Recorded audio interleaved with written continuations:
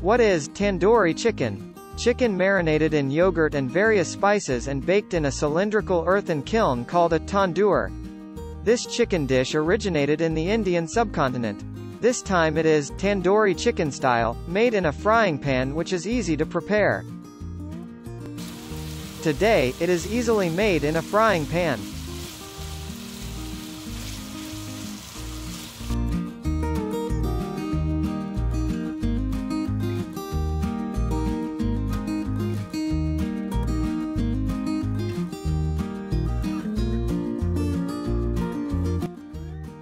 Benefits of tandoori chicken style. This popular tandoori chicken dish combines the flavors of yogurt and curry. Vitamin A in chicken strengthens the mucous membranes, prevents bacterial infection, and is expected to prevent colds, dry skin, and rough skin.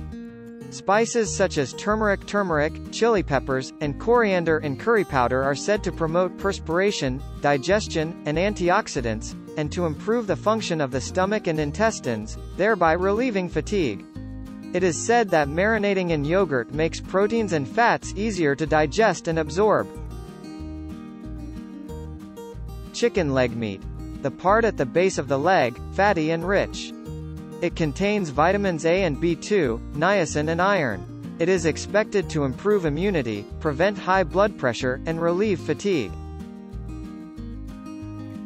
Curry powder, a mixture of various spices, is believed to have high antioxidant properties.